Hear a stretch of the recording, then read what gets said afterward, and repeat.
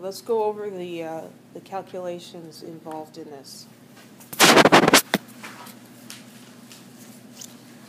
So we're going to be using that Q equals MC delta T equation. So that's our basic equation, and we're going to be using it in several different situations. So Q equals MC delta T.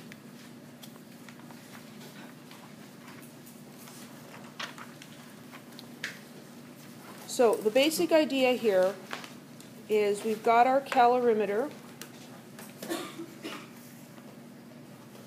and in that calorimeter, we're going to have some water. So there's some cold water in there.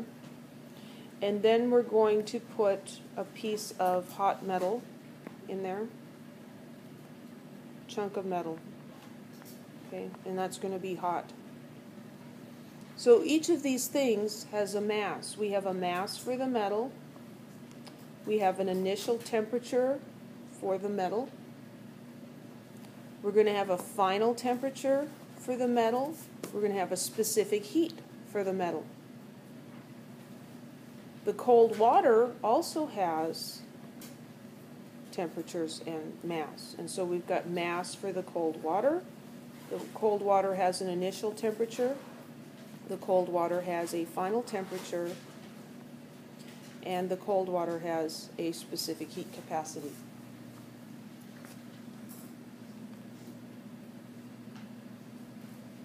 We're going to, for right now, I'm going to ignore the calorimeter.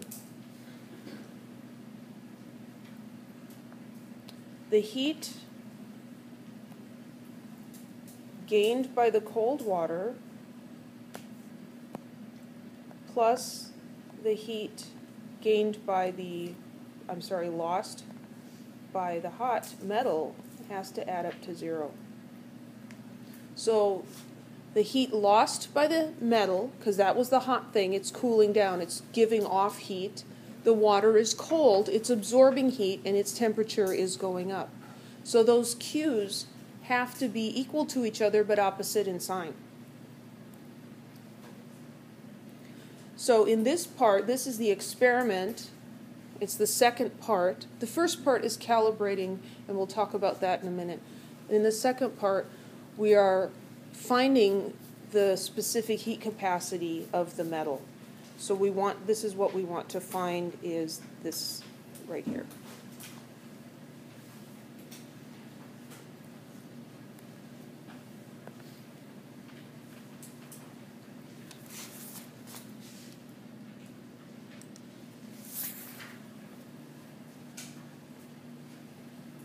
So the specific the, the heat lost by the metal equals its mass times its specific heat capacity times its change in temperature.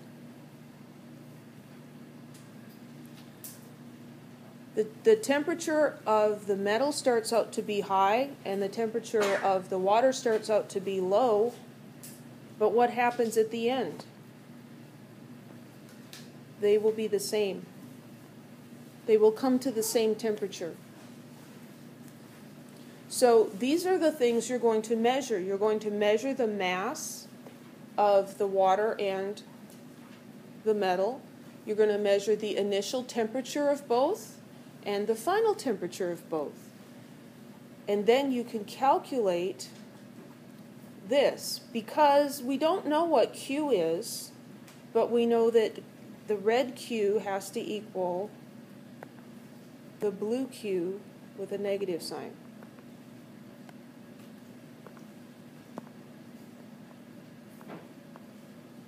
Because those have to be opposite of each other in order for them to add up to zero. Does that make sense? What the one gives off, the other one takes in. So we can calculate the Q for the metal from the information we have for the water because we know the specific heat capacity of water. It's 4.1 uh, joules per gram degree Celsius. 4.184 joules per gram degree Celsius.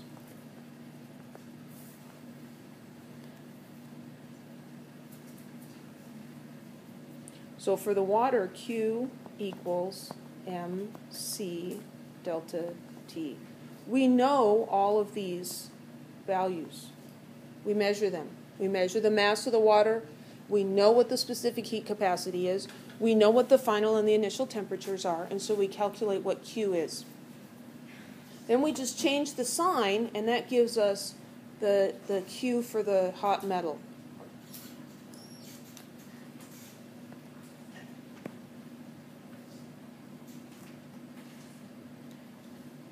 So rearranging that equation, we would rearrange that because we're trying to calculate C for the metal. C for the metal equals Q over M delta T, which is the same as negative Q for the water over MC delta T.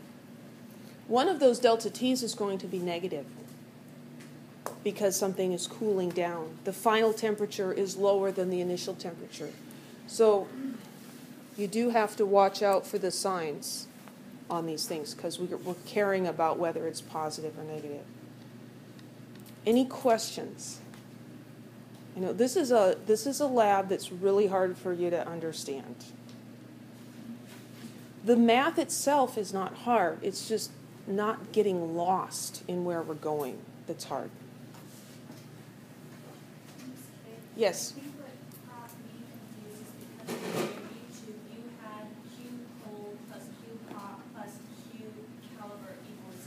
Right. So we don't use the Q caliber? Or do Well, I was trying to keep it simple. Uh-huh. I think I got lost when we did that. The the Q Cal lost you on YouTube or the not having it the here? YouTube. Okay. Because right here it makes more sense. Okay. But on the YouTube it didn't. Well, that's why I thought, well, I'm going to try leaving it out this time Uh-huh. to see if it makes more sense. So let's grasp the simple concept and then throw in the little complicating factor. So the fact is that the calorimeter is going to absorb a little bit of the heat. And so, you know, if we want a really good result, we can't just ignore that and pretend it doesn't happen. So this equation really is a little bit more complicated.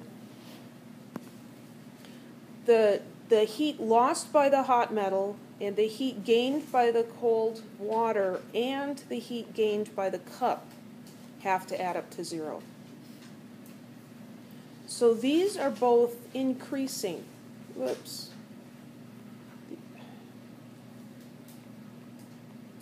Those, those two together, those are taking energy in. And the book really didn't talk about this, which is unfortunate. The sign of Q. When energy is coming in, we learned that that's an endothermic process, right? Well, then Q has a positive sign. So, how do you remember that? Well, think about money and your wallet. When money comes into your wallet, is that positive or negative? That's positive, that's good. When money leaves your wallet, that's a negative thing. So, when energy leaves something, Q is negative. The energy is going out, it's an exothermic process. So in this situation, red Q for the hot metal, the hot metal is cooling down. It's losing energy. That Q is going to be negative. The calorimeter and the cold water are warming up. They're going to have a positive Q. Because we can't have three positives and add up to zero. At least one of these has to be negative, right? So we do have to account for the fact that the calorimeter is going to absorb a little bit of water. We don't know how much it's not going to absorb water. Energy. It's going to absorb energy. It's going to absorb heat.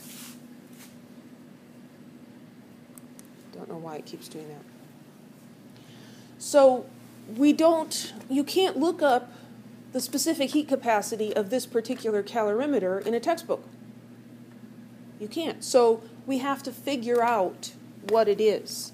And so the first part of this lab is called calibration of the calorimeter. And so what we do there is we use two things that we know the specific heat capacity of. So we're going to use hot water and cold water. but the Q's, the, the, the blue for cold and the red for hot and the black for the calorimeter, all of this stuff is still the same. We're going to have a mass of hot water and a mass of cold water, and this is what the pre-lab question was about. And we can calculate, in this situation, we can calculate Q cold, the blue one. We can calculate Q hot. So we measure the masses of each. We measure the final and initial temperatures of each. We know the specific heat capacity. So we can calculate both of those Q's. We know that all three of these Q's have to add up to zero. So we're missing one. We can find out what Q for the calorimeter is. And I can't remember if I changed this last.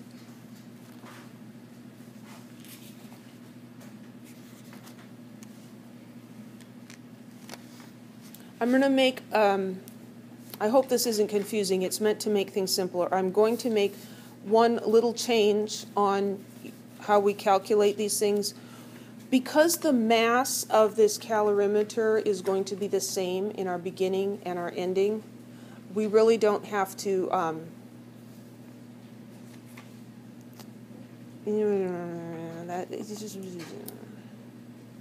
we'll we'll deal with that when we deal with it. We're going to calc. You can calculate Q. Just scratch that part. That all that mumbling.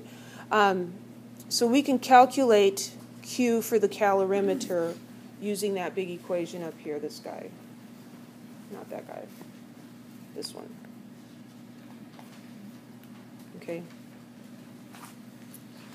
So I anticipate that we are going to have a lot of questions. Okay. The actual doing of the experiment is really quite simple. It really is. It's one of the simpler ones. It's the numbers and what to do with the numbers that get complicated.